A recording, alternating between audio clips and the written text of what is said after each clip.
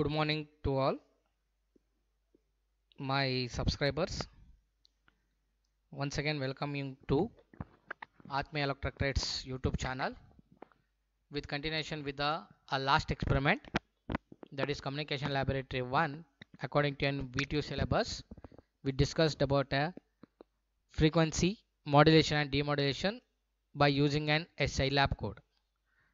Today in this section I'm going to explain the experiment design and test BJT or FET mixer. So BJT stands for an a bipolar junction transistor and FET stands for an field effective transistor. So before going to the experiment first and foremost we'll give a some terminologies of an a mixer.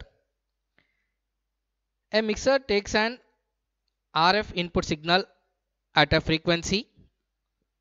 Let me call that frequency as an FRF mixes with an a local oscillator signal at a frequency with the local oscillator frequency let me call as an FLO and by mixing these two it produces the intermediated frequency as an output signal which is consists of summing and difference frequencies of input RF signal and local oscillator frequencies. The user provides an band pass filter that follows the mixer and selects the sum or an a different difference frequencies. Some points to be noted down uh, about an a mixer and their terminologies are when the sum frequency is sum of frequency is used as an IF the mixer is called as an up converter. When the difference is used, then the mixer is called as an down converter. The former is typically used in an a transient channel and later in a receiver channel. In a receiver, the local oscillator frequency is below the radio frequency which is called as a lower side injec injection and the mixer of low side down converter.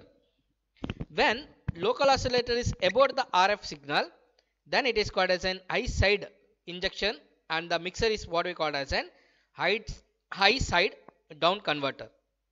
Each of the output is an only of the amplitudes of the individual inputs what we are going to provided.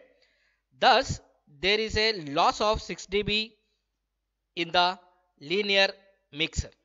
But when we come for an, a practical multiplier or an, a mixer, the conversion loss may be greater than the 6 dB depending upon the scaling factor of the devices.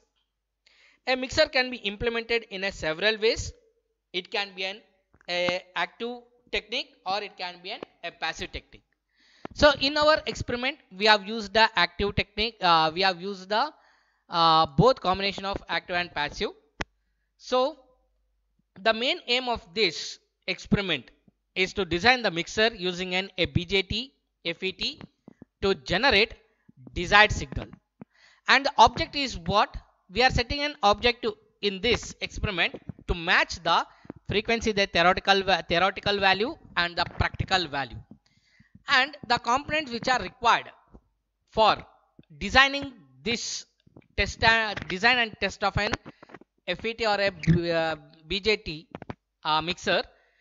Here we use an a BJT that is an a transistor SL100 in a one quantity and resistors like 47 kilo ohm 560 ohm and 100 kilo ohm with an capacitor of two quantities of an value 0.49 microfarad and one quantity of 0.1 microfarad. Apart from this, we use an inductor of an value 100 milli Henry and the power supply is of an at 12 volts and the appearance we are going to use here as an a function generator that too in an a two number of an a function generator. This is the circuit diagram of an a mixer what I have been designed. So depending upon the biasing of this we have been used the a biasing for the input with an, a value called the capacitor value of an 470 uh, nanofarad. Here we have gotten a two signals.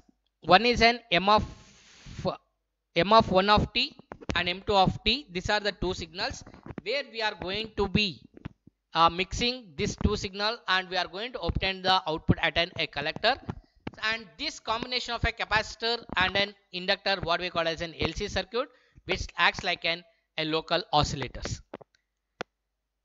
The procedure to carry over this experiment is first as shown in an, a circuit diagram we need to rig up the circuit according to the circuit diagram what we have been shown in the previous slide by assuming an a capacitor value of an 0.1 microfarad. And we calculate the a value of an a inductor by an equation of an a frequency f is equal to 1 divided by 2 pi root of L1 C1 where we are assuming the frequency of an a 7 kilohertz and we are going to find then a value called as an L1 because in this we know the C1 value which is an 0.1 microfarad and we know the frequency that is an at 7 kilohertz.